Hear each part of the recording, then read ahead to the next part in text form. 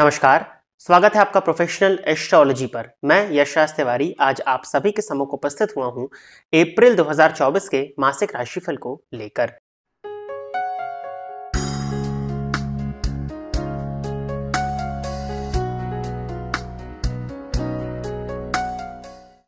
इस राशिफल के कार्यक्रम में हम चर्चा करने जा रहे हैं आपके स्वास्थ्य के विषय में, आपकी शिक्षा, आपके प्रेम, आपके मैरिड लाइफ आपके करियर के विषय में।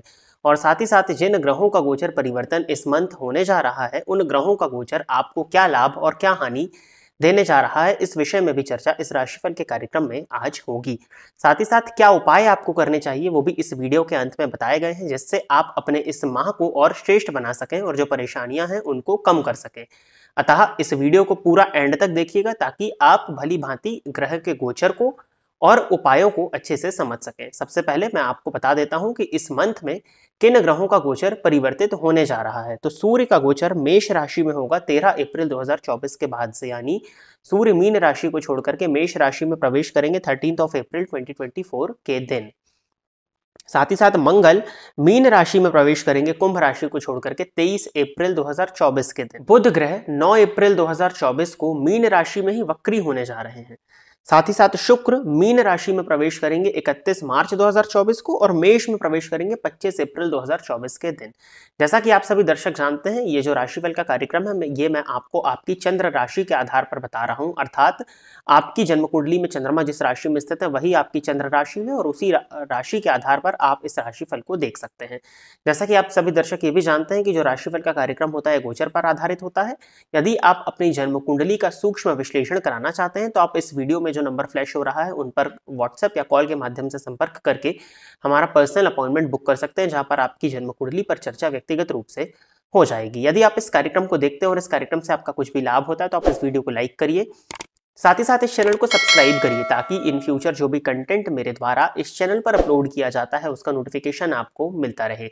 यदि इस कार्यक्रम के माध्यम से आपका कुछ भी लाभ होता है तो आप इस वीडियो को ज़्यादा से ज़्यादा लोगों के साथ में शेयर करें, ताकि और भी लोगों का लाभ हो और उसका माध्यम आप बने। आइए अब हम चर्चा प्रारंभ करते हैं राशियों के क्रम में ग्यारहवीं राशि अर्थात कुंभ राशि के जातकों के लिए कैसा रहने वाला है अप्रैल 2024 का ये मंथ।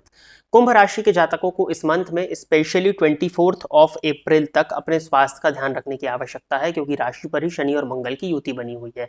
सरदर्द की शिकायत हो सकती है, स्वास्थ्य से संबंधित नाना प्रकार की परेशानियाँ आपको देखने में मिल सकती हैं।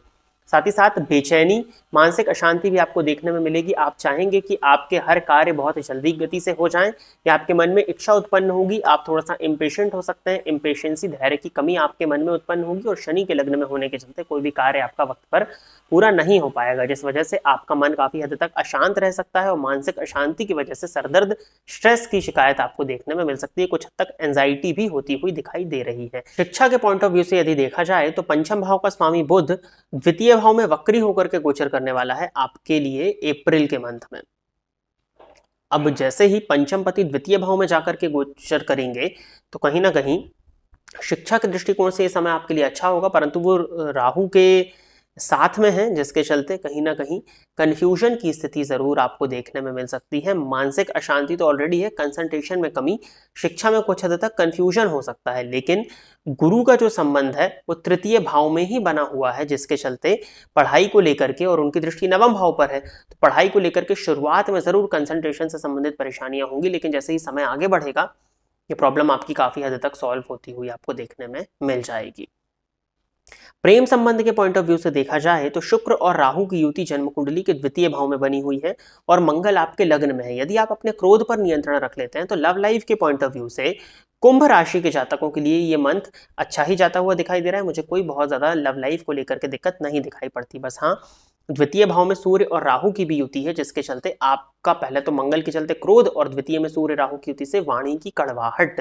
तो हो सकता है कि आपके क्रोध का शिकार आपका प्रेमी हो, जिस वजह से आप लोगों के बीच में लड़ाई, झगड़ा कला की स्थिति क्रिएट हो और आप दोनों के बीच में दूरी या रिश्ते में दरार आने की पॉसिबिलिटीज बन सकती है। तो अपने क्रोध पर यदि आप नियंत्रण रखते हैं तौल मोल करके अगर बोलते हैं तो अब लाइफ में कोई बहुत ज़्यादा दिक्कत आती हुई मुझे दिखाई नहीं दे रही है। सप्तम भाव का स्वामी यदि हम मैरिड लाइफ के पॉइंट ऑफ़ व्यू से बात करते हैं तो सप्तम भाव का स्वामी द्वितीय भाव में राहु के साथ में और ये राशि परिवर्तन करके थर्टीन अप्रैल को तीसरे घर में आ जाएँगे। तो थर्टीन अप्रैल तक मैरिड लाइफ में थोड़ी सी परेशानियाँ हैं। हो सकता है कि ईगो की वजह से या आपके लाइफ पार्टनर आपके स्वास्थ्य की वजह से आपको थोड़ा परेशान होना पड़े? लेकिन थर्टीन ऑफ़ अप्रैल के बाद में मैरिड लाइफ में कोई बहुत ज़्यादा परेशानियाँ नहीं है, लेकिन हाँ मंगल और शनि की युति सप्तम भाव पर पड़ रही है, जिसके चलते आपके क्रोध की ही वजह से आपके और आपके लाइफ पार्टनर के बीच में लड़ाई झगड़े की स्थिति क्रिएट हो सकती है। तो ये एक बात है। बाकी करियर के दृष्टिकोण से यदि हम देखते हैं तो दशमपति बने हुए मंगल राशि पर ही गोचर कर रहे हैं आपकी तो करियर के दृष्टिकोण से अच्छा है। धनागमन के पॉइंट ऑफ़ व्यू से भी ये समय आपके लिए काफ़ी अच्छा जाता हुआ दिखाई दे रहा है।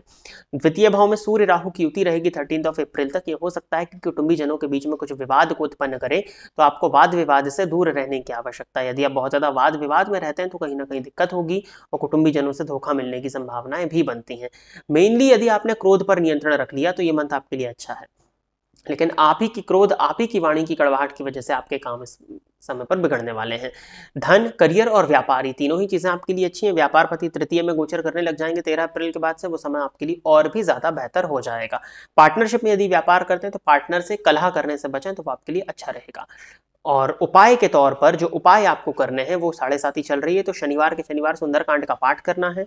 हनुमान जी के मंदिर में जाकर के दर्शन करिए, हनुमान चालीसा का नित्य तीन बार पाठ करिए। ये तीन उपाय तो आपको मतलब इस मंथ में क्या, इस साल में आपको करने हैं। तो इन उपायों को तो आप करते ही रहेंगे तो आप काफ़ी हद तक सुरक्षित रहेंगे। बाकी सूर्य और राहु की युति है तो सूर्य की आराधना करना, सूर्य भगवान को जल अर्पित करना, नित्य सूर्याष्टकम का पाठ करना भी आपके लिए काफ़ी मैं बेनिफिशियल देखता हूँ। बाकी गणेश जी के मंदिर में जाकर के बुधवार के दिन दर्शन करिए, गणेश जी पर दूरवा अर्पित करना भी आपके लिए काफ़ी हद तक अच्छा दिखाई पड़ता है। तो प्रिय दर्शकों, ये था कुंभ राशि के जातकों के लिए अप्रैल 2024 का राशिफल। आशा करता हूँ कि कुंभ राशि के जातक मेरे द्वारा बताए गए इस राशिफल के कार्यक्रम से संतुष्ट होंगे। यदि आप इस कार्यक्रम को देखते हैं और इस कार्यक्रम से आपका कुछ भी लाभ होता है तो आप इस वीडियो को लाइक करिए, साथ ही साथ इस चैनल को सब्सक्राइब करिए, ताकि इन फ्यूचर जो भी कंटेंट मेरे द्वारा इस चैनल पर अपलोड किया जाता है, उसका नोटिफिकेशन आपको मिलता रहे। यदि इस कार्यक्रम से आपका कुछ भी लाभ हुआ है तो आप इस वीडियो को ज़्यादा से ज़्यादा लोगों के साथ में शेयर करिए, ताकि और भी लोगों का लाभ हो और उसका माध्यम आप बने। आज के इस राशिफल के कार्यक्रम में बस इतना ही रखते हैं। नमस्कार।